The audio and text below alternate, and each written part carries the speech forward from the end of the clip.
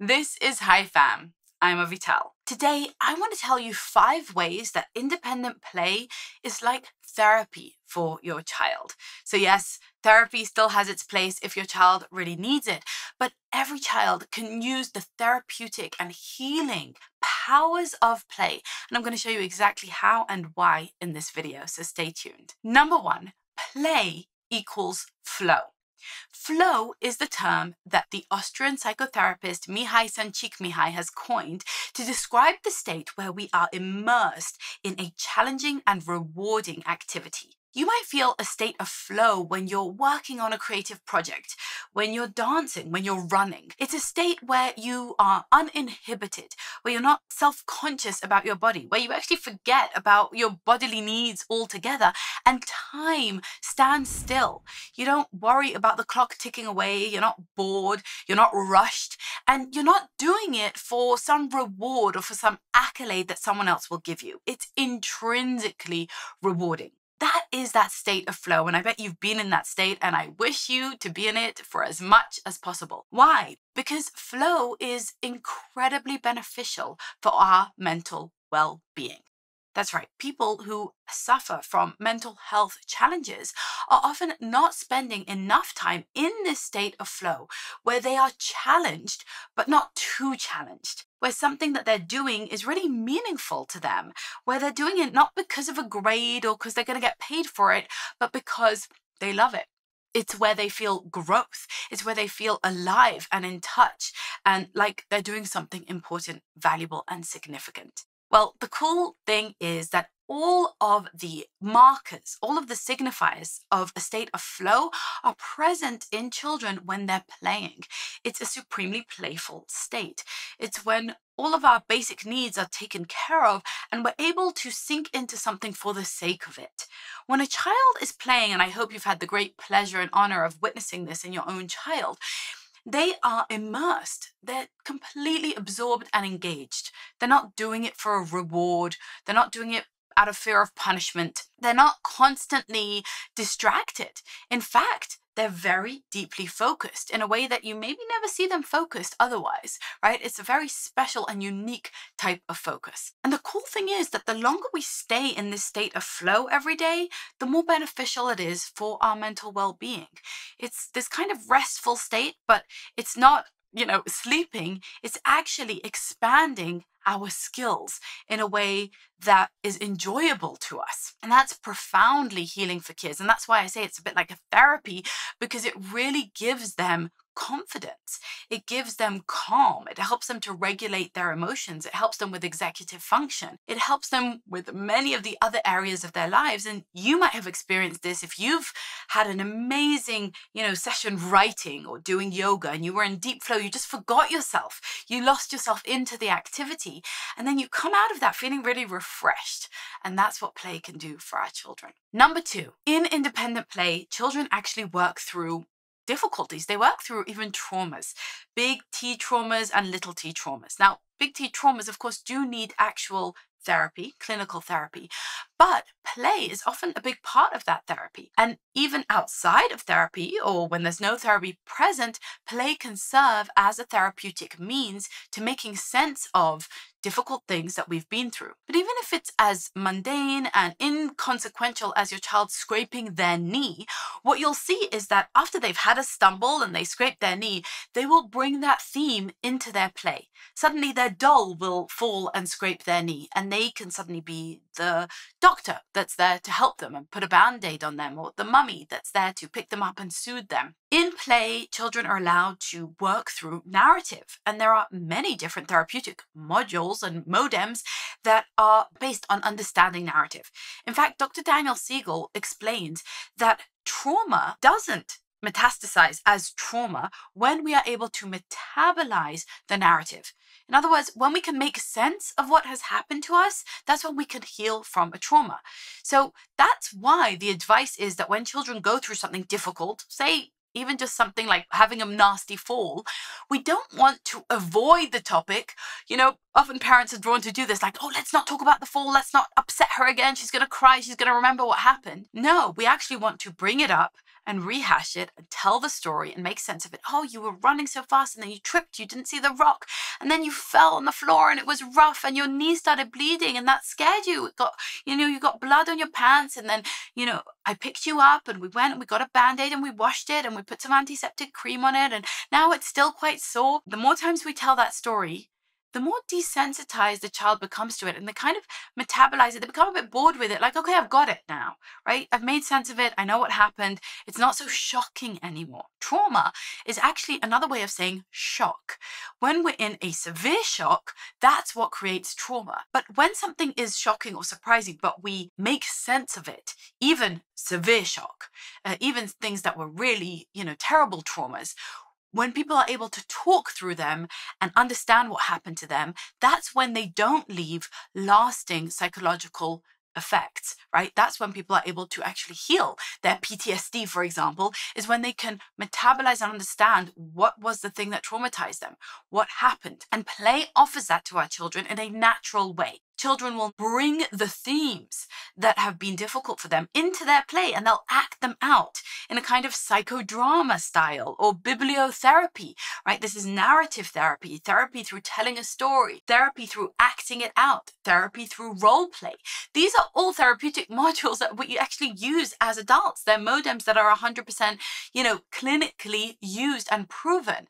But children bring those same themes in through their play. And so it's like free therapy in that regard. Hey, do me a huge favor and slam on that subscribe button. And don't forget to hit the notification bell.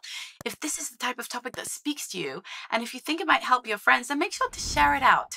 The third way that play is like therapy is that in play, children actually bring up very dark themes and questions that they might have. You know, many of us parents are really uncomfortable with these dark themes like violence or death coming into play, literally in children's games.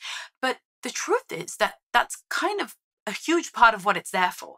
It's there for them to make sense of the world, to make sense of things that are really uncomfortable, to make sense of things that don't make sense, and to play their hand at different roles in society. A child who plays pirates isn't going to grow up to be a pirate.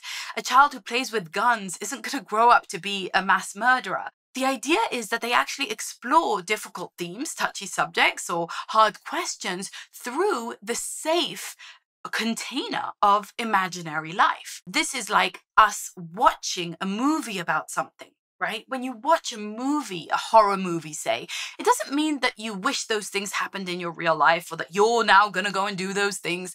It means that you want to kind of expose yourself and understand and play with and imagine these themes and these things happening. Not that they're real. There's a huge differentiation between what happens in children's imagination in their play and what happens in their real life. And in fact, there's interesting research to show that when children are allowed to play out, say, violent themes like war games, they're actually less, not more, likely to be violent in real life.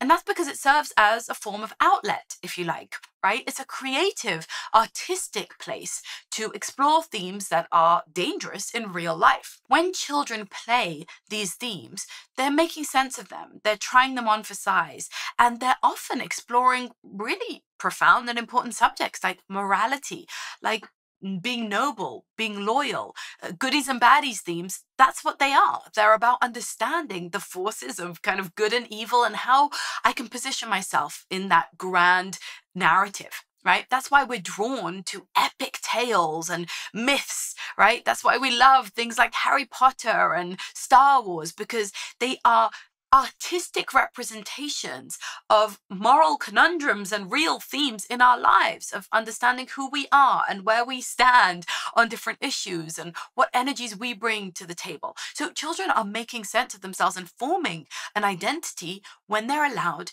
to play to these dark themes and play them out. And the truth is, when they're not allowed to explore identities, when children can't try on the cape and be Superman and put on the mask and be a lion and, you know, just dress up as different things, suddenly, you know, gaining those powers of whatever it is that they're dressing up as, then they never fully graduate from that stage and make peace with and understand their own real identities. Identity exploration should happen when children are little. That's the place for them to dress up and pretend.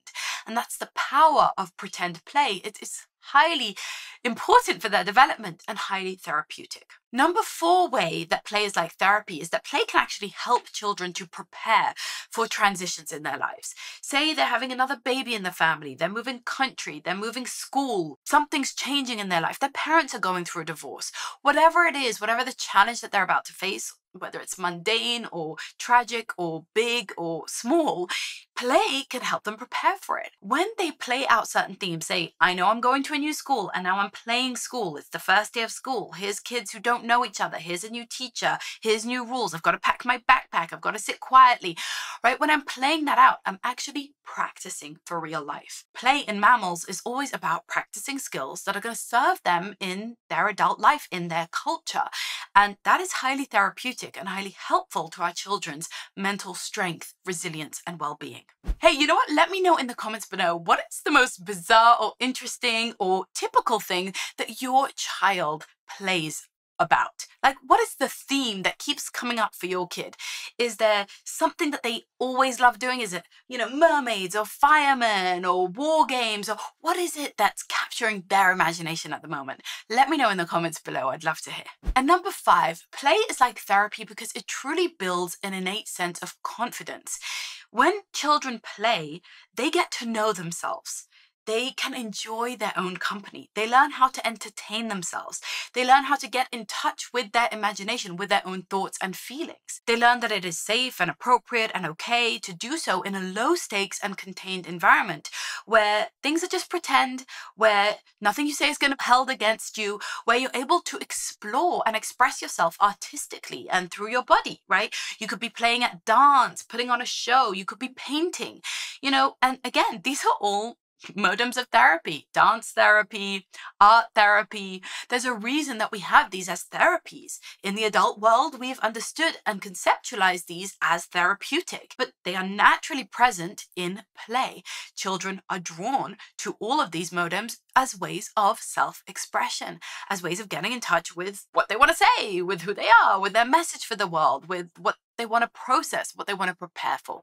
And so you see, play is tremendously powerful. It's a powerful agent for your child. And if your child is going through a hard time, they're having a lot of tantrums, they're having nightmares, they're anxious, they're worried, they're scared, uh, they're having difficulty making friends, they're wetting the bed, anything that you are struggling with, you will find that the therapeutic powers of play help you in helping them. If you make time for them and if you teach them how to play independently, you will see the issues that are most top of mind for them rising to the surface and being understood, being made sense of, being metabolized, and even being prepared to move forward and heal from these you know, irksome and worrisome issues that might be facing them. So, whatever it is that you are concerned about with your child, whether it's just day to day regular kid stuff or something a little bit bigger, I urge you to reclaim the power of play. If you want more help doing that from me, go to reclaimplay.com and take the Reclaim Play course. It's absolutely exactly tailor made and catered to you helping your child step deeply into that imagination. And of course, it's great for you as well, especially if you want to get stuff done in your life while your child is playing. And I have many more videos, so check them out all about the power of play. I hope to see you in Reclaim Play. And meanwhile, just enjoy and notice and take note of all of those times that your child is playing and see just how powerful it is. It's right under our noses, but so often we don't notice. So much love to you. Keep on living that Hi Fam life, and I'll see you in the next video.